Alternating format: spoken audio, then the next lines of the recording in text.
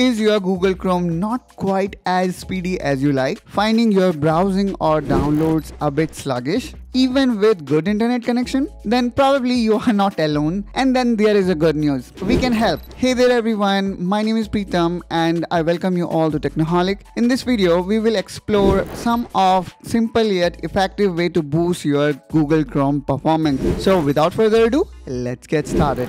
Okay, so here you can see I am already in my Google Chrome. Now the first thing here we're going to do is we need to tweak our DNS. For that, let's click here on these three dots and then go to settings here.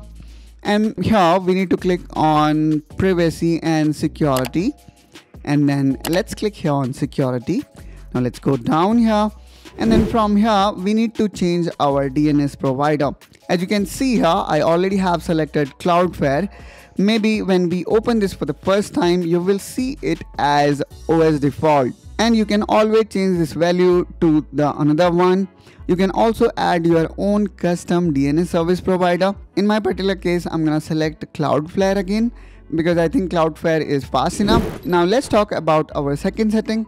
For that again, let's click here on extension and here actually we need to see uh, what are the extension that are of no use. Because sometimes it also happen is extension may keep on running something in background that sometimes can consume lot of bandwidth. So here you need to find out the extension that is of no use. For example i do not use power automate too often so i can delete it.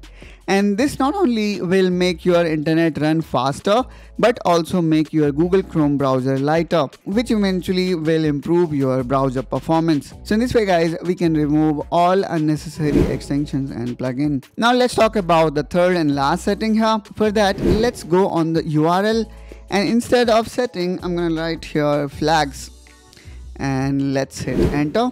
Now here what we need to do is we need to type here parallel and here we need to make sure that the parallel downloading is enabled so what basically it will do is as the name suggests it will download your file in multiple parts thereby improving your download speed. And here also you can read about it enabling parallel downloading to accelerate download speed. And after making all these changes make sure to relaunch or restart your chrome browser so by implementing all these settings, I believe definitely you will see performance boost in browsing and downloading. And I will catch you soon with one such productivity tips and tricks. Till then, you take care and bye-bye.